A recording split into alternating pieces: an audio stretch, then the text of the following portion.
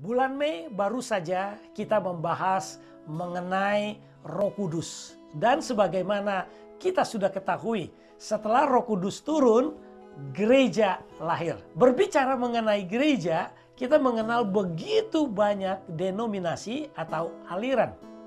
Banyak orang sering bertanya, apa aliran gereja IFC atau sekarang menjadi Oikos Church sejak tahun 2020? Gereja IFC atau OSI sekarang ini lahir dari sebuah persekutuan doa yang pecah-pecah karena menekankan denominasi. Selalu saya jawab gini, intinya aliran gereja kita adalah aliran Tuhan Yesus Kristus.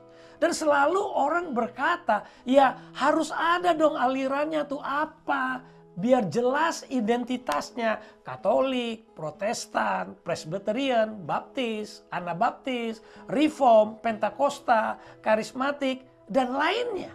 Karena kita sudah dibiasakan dengan memiliki aliran. Jadi seolah-olah menjadi suatu keharusan. Nah, ternyata pergumulan saya ini bukan dialami seorang diri, telah dialami banyak oleh hamba-hamba Tuhan lainnya. Khususnya di abad ke-19 yang memiliki begitu bahayanya menekankan denominasi yang ujung-ujungnya tuh merasa lebih benar, lebih baik, dan seterusnya melahirkan perpecahan. Maka lahirlah di abad ke-19 itu sebuah kegerakan restorasi yang bernama Churches of Christ yang tidak memiliki afiliasi denominasi formal.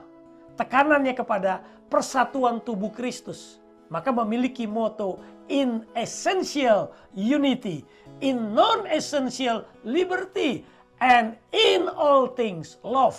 Bersatu dalam hal yang esensi, kebebasan dalam yang tidak esensi, dan lebih dari semuanya itu adalah kasih. Nah, di Australia jemaat kita berafiliasi ke Churches of Christ yang tidak menekankan denominasi, melainkan menekankan persatuan tubuh Kristus.